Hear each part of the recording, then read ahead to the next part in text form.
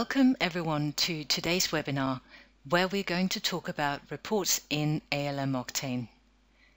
In this session we'll cover the different reporting options you have available in Octane, some handy tips when starting with reports, and of course we'll look at some of the latest enhancements. A natural place to start with reports is of course the dashboard module. When you first access this, you will see some default widgets. This has an easy to change layout if you need more screen space for certain widgets. And if you want to create a new dashboard, I'll recommend to start by clearing your existing dashboard and start with a clean slate. And then you can use this plus sign to add widgets to your own custom dashboard. So if you already have a good idea about what you want to measure, there's a large number of widgets out of the box. They're categorized here on the left. You can search as well on the top, or you can even add your own custom graphs with different display options. But as a first step, I recommend to look through the dashboard templates, which was introduced earlier this year. So a template is a selection of pre-configured widgets and you can use the help icon next to each template to see which role would find it useful and the questions it will help you answer.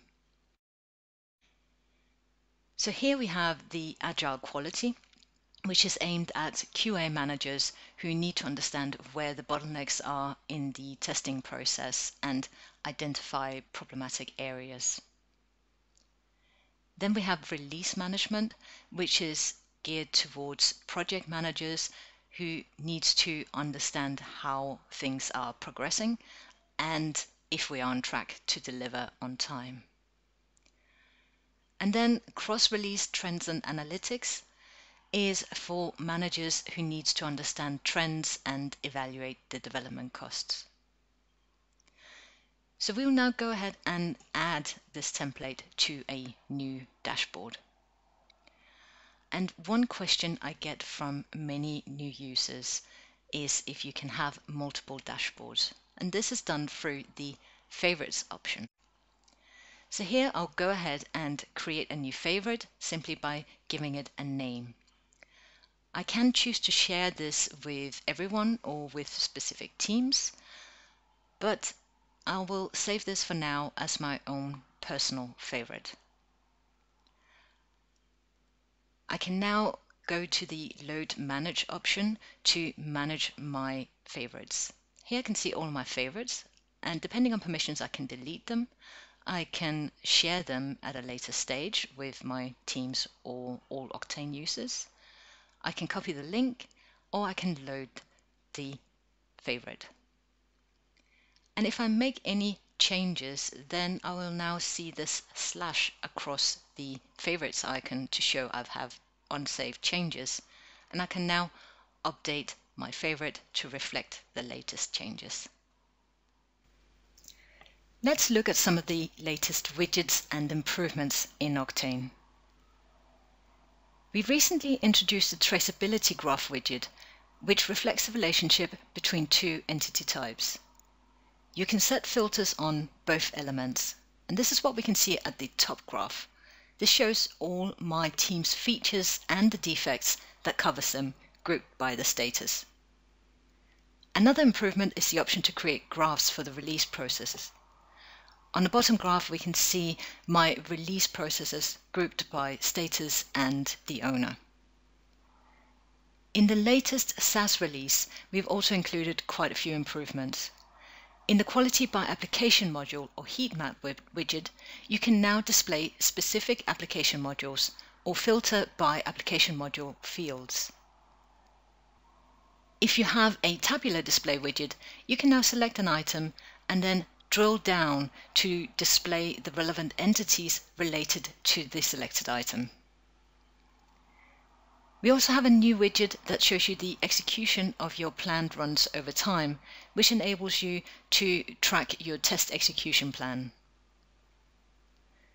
And a new icon shows the latest widgets for the last couple of versions, so a great way to keep up to date.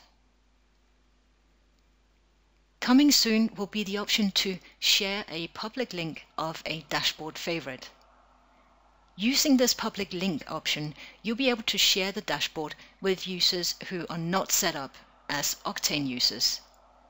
You can also embed the dashboard in a presentation or an online document, such as SharePoint, intranet sites, or emails. The public link will be able to display live data from Octane in read-only mode. So the dashboard is great for viewing and sharing the latest data in pre-configured graphs. However, there's also a lot of useful dynamic data within the modules, which allows you to do much further analysis.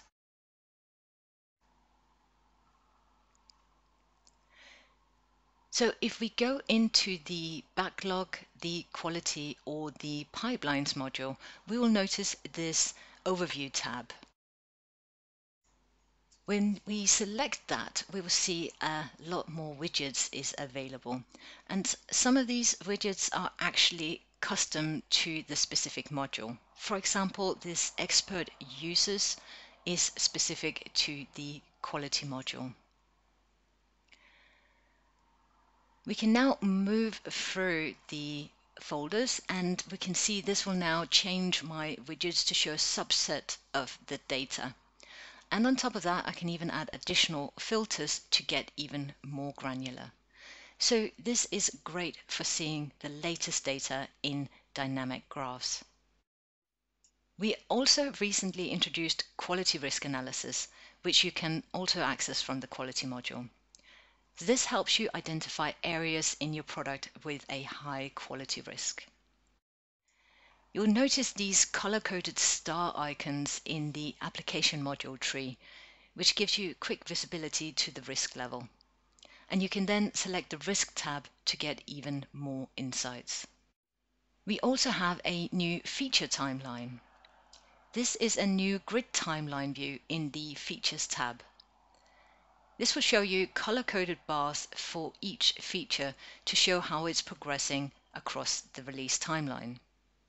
The bars are also positioned according to the feature start time and the target milestone. So as you can see, we have a lot of great reporting options inside Octane. But what if you need to get data out? For example, if you need to send reports via email. Well, we do have several options available to get reports out of Octane. First, let's move into the dashboard module.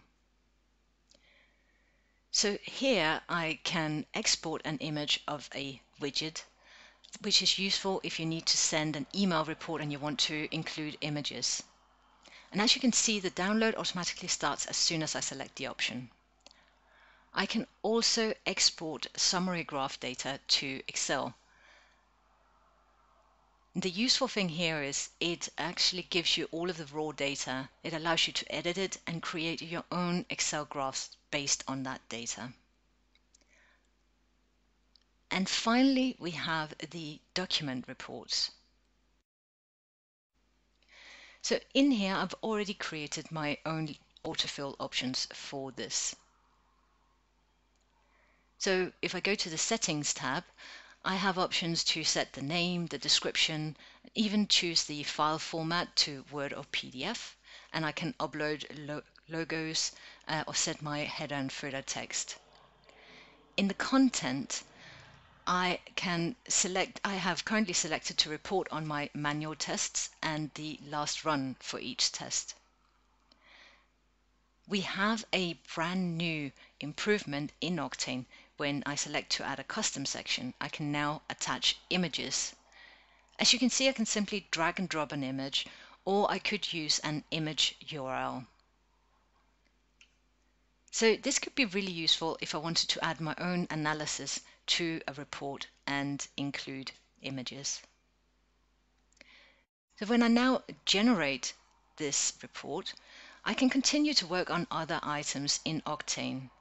And then Later, I can access this report from the My Work section. So this was a very quick report, so it has already downloaded for me. And when I now go through this, I can see my image in the custom section as well as my selected tests and run data. In the latest Octane release, we also have improvements to the widget export to Excel. When you are exporting data, you'll now see two Excel sheets. So one is the data sheet, as we saw before, which contains the raw data. But there's also a new summary sheet, which includes a summary table and graph. The important thing to remember is that the exports and the document reports are snapshots in time. With that, I mean that the data is static from the moment you exported it from Octane. But sometimes you want to show the latest data outside of Octane.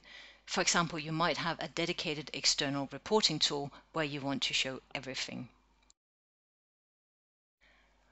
OData is a standard protocol supported by most major reporting solutions. ALM Octane supports the OData version 4.0 protocol. Some of the most well-known reporting tools that support this solution is Excel and Power BI. And just to get you started, we have example template reports for those tools in the Micro Marketplace. So let's have a quick look at one of the Power BI uh, template reports.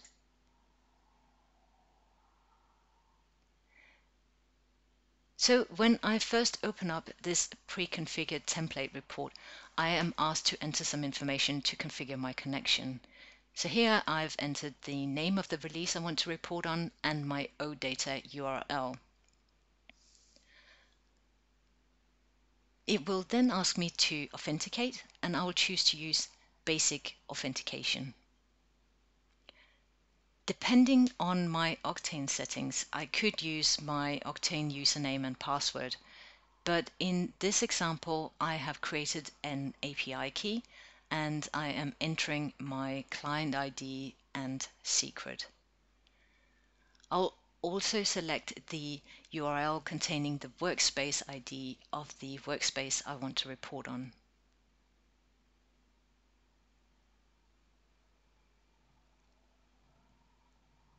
Okay, so the connection data is now confirmed. And as you can see, it's now going through and evaluating the data and downloading it through to the report. And this will take a little while to load.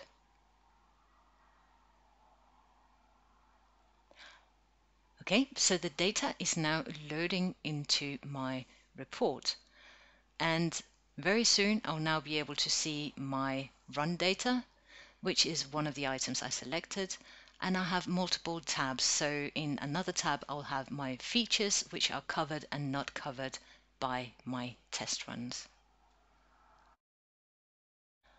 And this is all for this session. Thank you very much for listening and please keep your eye out for any future Micro Focus webinars.